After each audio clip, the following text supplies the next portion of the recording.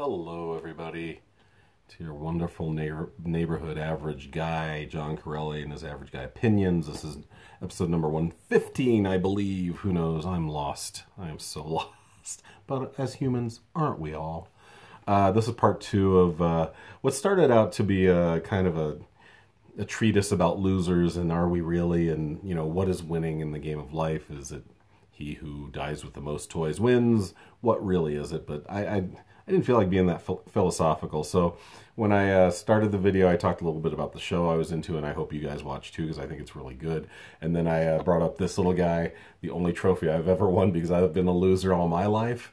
Um, but yeah, so part two is just going to be about my soccer memories, because it was a big part of my life growing up. Here's me, uh, circa 1976, pretty sure it's 76. Uh, chubby little guy in the foreground um, at Paramount Park, which is uh, here in Wheat Ridge.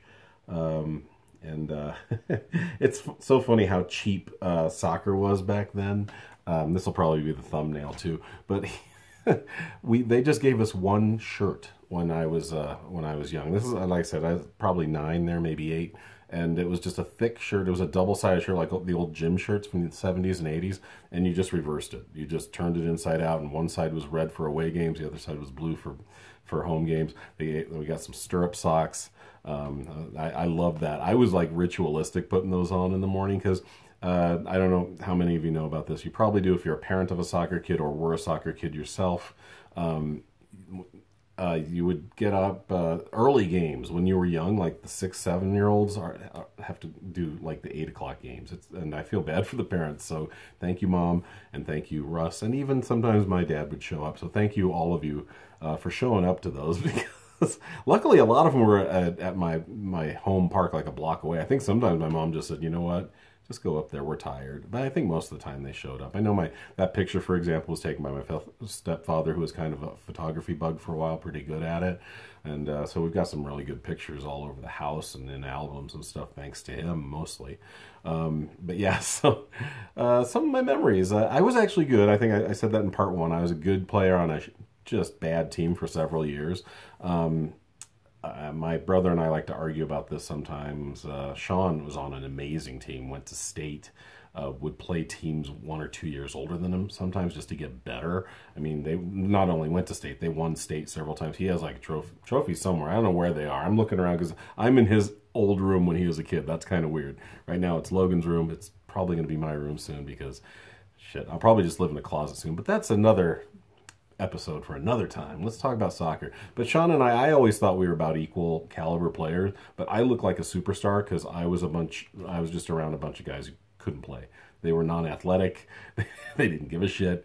They they were just clumsy guys that just didn't know how to play. Um, I mean, we couldn't even do drills right, just simple passing drills. I would get so frustrated, and my coaches like just felt bad for me because like you deserve better than this because you play hard and you're pretty good. Um, but I and, and so Sean was like an average player on a really good team, and I always thought we were about the same caliber. And he'd kind of get mad, He's like, "Oh, I'm way better than you." I go, "You're on a better team than me."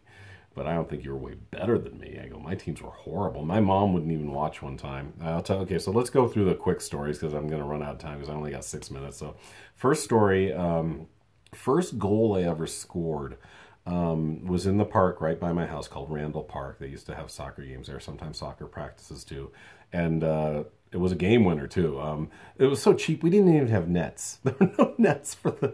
It was Wheat Ridge. I guess I don't know. Eastern Wheat Ridge isn't quite the uh, hoity-toity area that Western Wheat Ridge, Applewood is. So we were almost in Denver. Ooh, but yeah, we didn't have nets. But I remember uh, we just had like a scrum in front of. I was probably seven and uh, maybe eight, and we just had a big scrum in front of the the, the, the goal, and I just just blasted and it went over everyone's head and through the goal. And I remember celebrating a lot. And I saw um, one of my teachers at my school, his name was Mr. Schnebley. He was a fourth grade teacher. And I think I was in second or third grade when I made this goal. And I was like, ah, it's going crazy. And uh, I go, Mr. Schnebley, did you see that? And he's like, mm-hmm.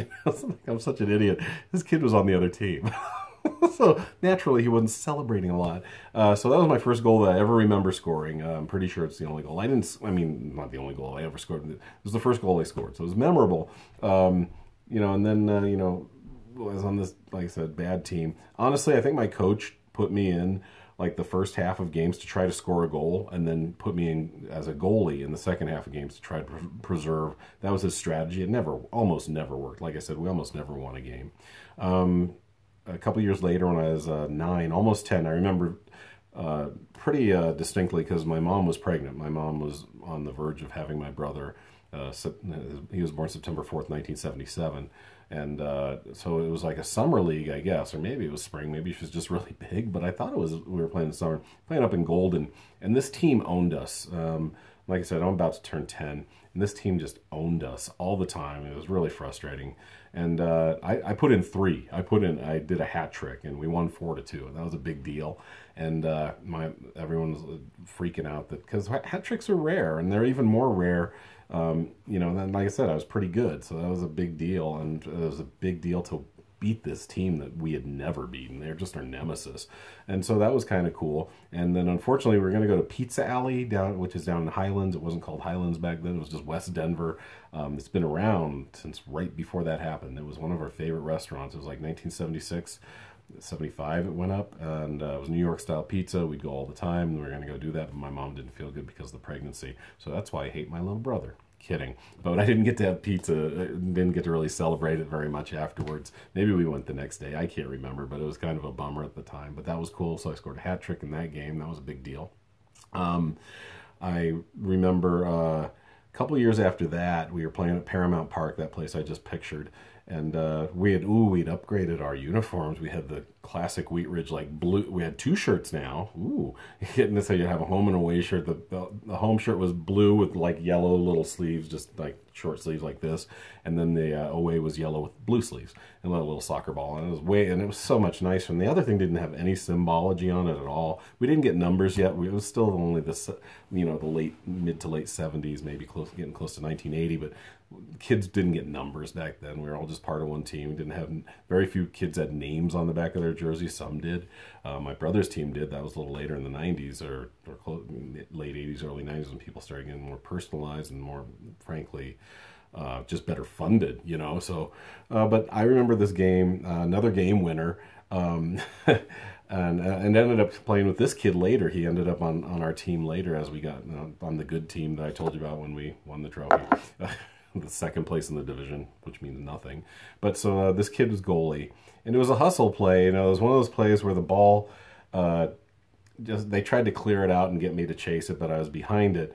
But it was slow enough that it wasn't going to get to the goal box, so the goalie couldn't use his hands. So he he was in a, he was in a predicament because I was chug, chugging for this ball, and so we both get there close to the same time, and he kicks it and he just blasts it right into me, and. Uh, I have nowhere. I I just felt to go. It actually hit my arm, but since I was like this, it wasn't considered a handball. It was a protective, you know, and it looked like it hit me in the head, but it was pretty close, right here. As I just jumped like this, he kicks the ball off of my forearm into the goal. Because I'm looking around, I was like, where'd it go? I look and it's trickling into the goal, and he's just like, can I? And that was a 1-0 game too. So it was a game, weird way to get a game winner, but it was just I was happy with myself. It was a hustle play, you know. It was like, hey, you get in there and you sometimes things happen if you if you force an issue. So that was kind of cool. Uh, what? Oh, some horrific things that happened. Uh, this is later on. I told you I had that good year. That was 1978, 11, 12 years old, and then unfortunately, I think the coach quit. I ended up on a on some not very good teams. I and I think I started not caring. This was probably 1981, 82 because I was 14 years old, and. Uh, guy crosses the ball. I'm playing like halfback. I'm like near the top of the box. Um, and this guy, I'm playing defense, and this guy on the other team crosses the ball, and I just put my knee up to just block it. Boom, straight into the goal. and now I was 14, so I was like, I'm not going to cry about this, but I'm pretty upset. Um, I think it was a tight game, too, so that didn't help. Goalie's like, really? And I was just like, I was just trying to play defense. Um, but so what really hurt, though, is um, I'm just like, ugh, and down more than usual. And my mom knew that a lot of these games I wasn't happy because things weren't going our way and I and she's like she's like what are you upset about? And she didn't she, that just and i just lost and started crying because she didn't notice that i had just scored upon my own team. That's how non-invested she was which is fair. When you watch somebody lose that much it's like being a cubs fan. You're not gonna start watching maybe until they start getting good again. So that's some of my memories. I also got 20 goals put on me as a goalie one time.